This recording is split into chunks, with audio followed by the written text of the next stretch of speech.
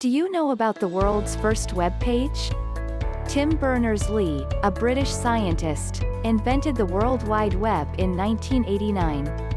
It took another two years for the world's first website to make its appearance.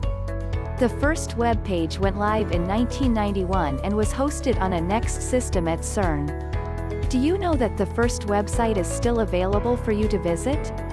It serves as a historical archive for everything available online about the World Wide Web.